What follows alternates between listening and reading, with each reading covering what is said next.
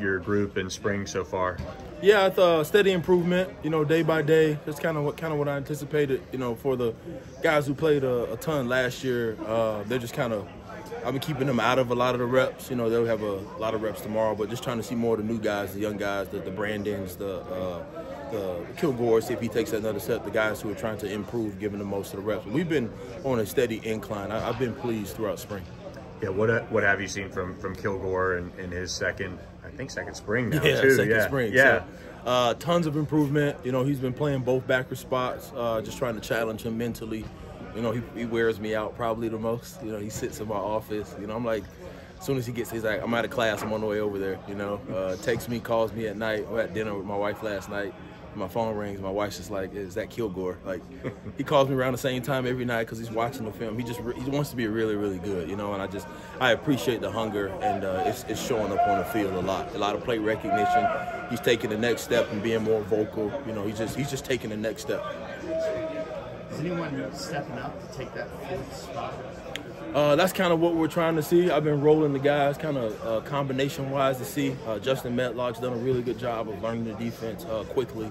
Uh, he's a very talented athlete. Uh, you know, he brings a different dynamic than the other guys who are more traditional linebackers. Justin's a really athletic guy that, I, we're excited about. Brandon uh, Miazono's taking the, the, next step. He's another bigger body guy.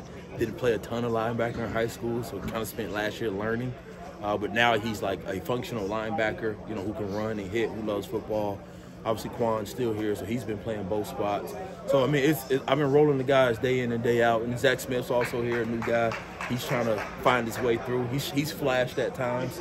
So it's uh, we got a really good group, a group that I'm really excited about, and I think we'll kind of we'll go through spring, we'll go through summer, and then we'll figure that out, you know, through fall camp. But right now, I'm just trying to make sure everybody has a fair opportunity uh, to, to have a spot. I was about to say with Zach, he played a little bit of safety at Red Oak, right. and you know some linebacker. What's what have you seen from him as he's you know made that full adjustment? To he's a uh, he's a he's a very like instinctive football player you know, who, who's smart, and because he did a lot at Red Oak. You know, you saw him play safety, you saw him blitz off the edge, you saw him play backer, saw him play apex Sam. Like, so he is a very like instinctual football player. He's just he's just waiting for everything to slow down. He's trying to figure out where his class is. You know, he's trying to figure out why coach is yelling at me. He's just trying to figure it all out. But through it all, he doesn't panic though. He he always has a very he's, he's a very calm person, which uh, for younger players that's often that's like that's not the case, right? Younger guys are pretty erratic. They're kind of like they get flustered easily. Uh, Zach's very cool. He's very calm. He's just working through the process, uh, but he is talented though. He's he runs very well. He's very athletic. He's grown a little bit. He's a little taller. He's probably put on about 10 pounds since he's been here. Um, so you know, thinking like by the time we get to camp, he should be like factoring in, kind of similar to what Kilgore was uh, last year. He'll have a role somewhere on our defense and special teams.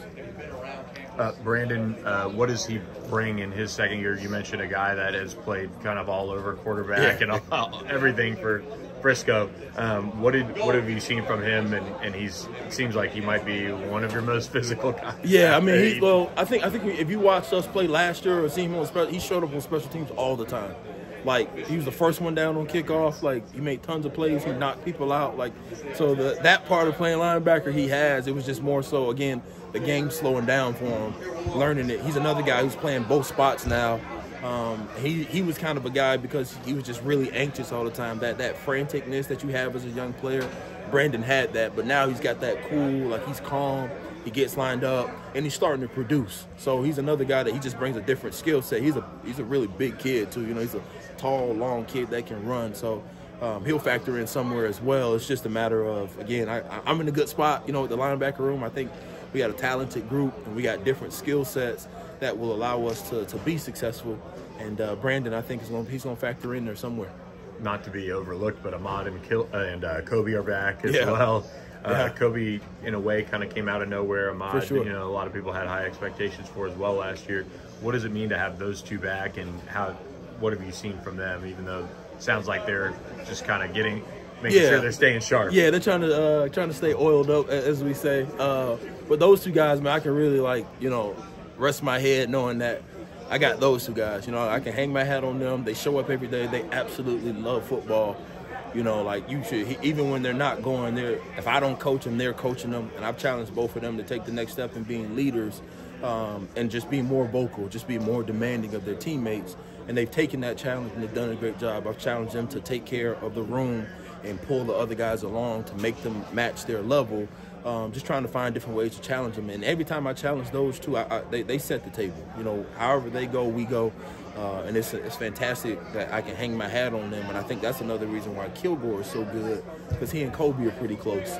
And as you kind of watch their relationship and their dynamic, like you can see some of the things that Kobe does, how that how that Kilgore pulls that out, and then that makes him better. Now, the young guys who are here, Zach, he sees Kilgore. Oh my gosh, he was a freshman last year, and his mindset. So Zach has no choice but to fall into that, right? And then you add another guy like Brandon Booker when he gets in in the summer like we're just, we're just we have a very like structured room, but it starts with the leaders in the room and how they approach their their football on a day to day basis. I was about to say, uh, Booker, what did you see from him in high school, and and you know getting him on board Yeah. kind of later in the process? Yeah, well, for, brings? for for him, I you know he's a guy that we targeted when we first got in. Actually, uh, Booker and Zach were two of the first guys that I saw when I got hired.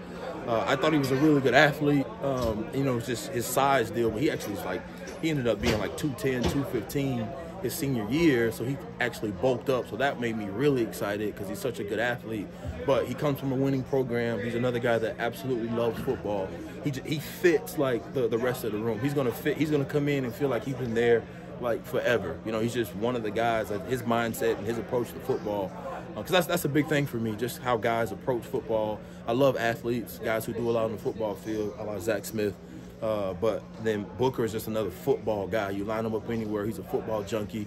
He like jumps in on Zoom to try to like see our meetings. Like he he just he's obsessed with it. You know, he he didn't have school, I promise you he'd be here. But he wears me down after practice too. How we practice today, you know, what are we looking at? You know, what what, what do I need to learn? So he's just he's just like the rest of the guys. So when you add him in as another freshman, but I think he'll be physically he's going to be a little bit more ready, like ready made. He's not going to have to put on a ton of weight, and he has good athleticism.